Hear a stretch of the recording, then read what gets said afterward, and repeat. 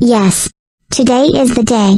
We're going to Hampton Hotel because we're going to Uncle Fat Daddy's house. I love his competitive eating challenges. He ate a limp hole before. Boo. And his name is. And his name is John C. Well, crap dad. You scared the crap out of me. Why the hell are you wearing a Johnson mask? It ain't Halloween yet, dog. Ha ha ha ha. It's a prank bro. So anyways are you ready to go to the Hampton Hotel? It's a very hot day today. I am hoping they have air conditioning in the room. Hell yes I am. I am so excited to see Uncle Fat Daddy. I wonder what he's going to eat this time. Maybe a whole loaf of Trump bread, made by Trump of course. I am so excited. I told him to eat my wallet, because I secretly overheard your mom on the phone saying she was getting me a wallet for me for Christmas. So, come on. Let's go.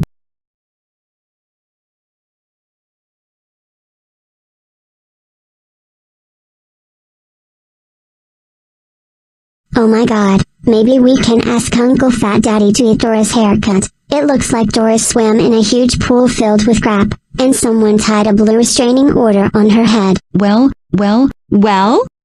Look who's talking, One Punch Kid.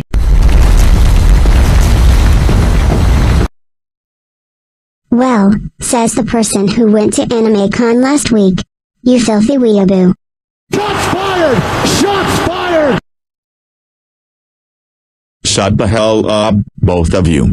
Caillou, stop roasting your mother or we'll leave you behind for two whole nights. I know you don't want to miss Uncle Fat Daddy's eating challenges. Fine. Sorry I got you triggered, Mom. It's cool like SoFlo Antonio. What's a SoFlo Antonio? Ha ha ha, forget it. Well, good news everyone. We have finally arrived at Hampton Hotel. This is my favorite hotel because I love their beers here. They're Hampton special, ah, so delicious. Now, let's park the car and we'll go in. How can I help you guys today? Hi, we're looking for a hotel room with air conditioning. The weather is hot as hell outside. Okay, your room number is on the 13th floor, and your room number is 1301. Thanks.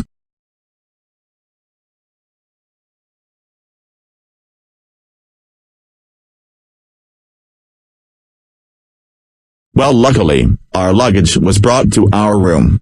It's hot as hell in here. I am going to turn the air conditioner on to full blast.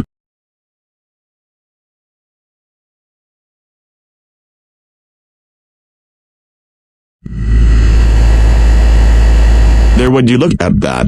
It's getting cooler in here already. Now let's go to Uncle Fat Daddy's house. We may be watching some crazy eating challenges today.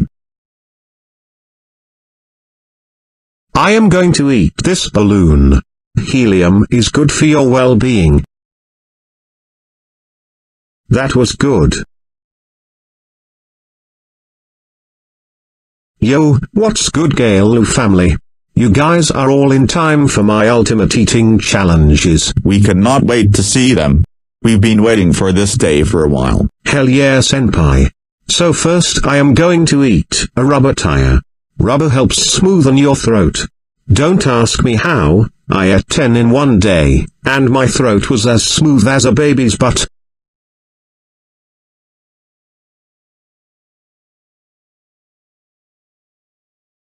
Hell yes. That tire tasted extremely good. Damn. You are one hell of a legend. Your extreme eating challenges are dank, danker than Snoop Dogg's weed. Hey. Snoop Dogg's weed is danker than anything in life. Don't you ever disobey the dankness of Snoop Dogg's weed or I will eat you. Well, bro. I'm sorry. So, what are you going to eat next? It's cool, man. So, I am going to eat an entire vending machine. I've never have eaten one before, this is going to be exciting.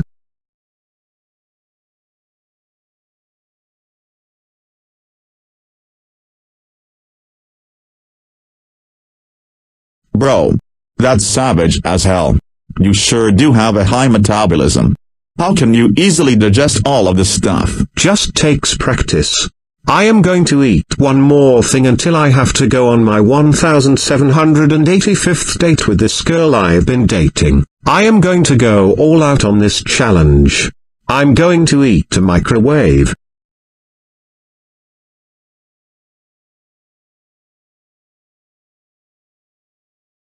Damn.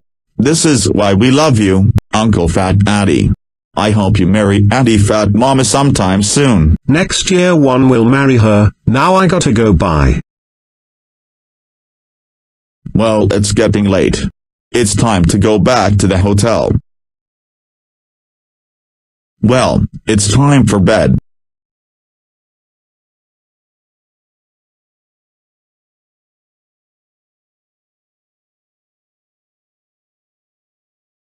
God damn it. This room is so cold. I am going to shut the air conditioner off.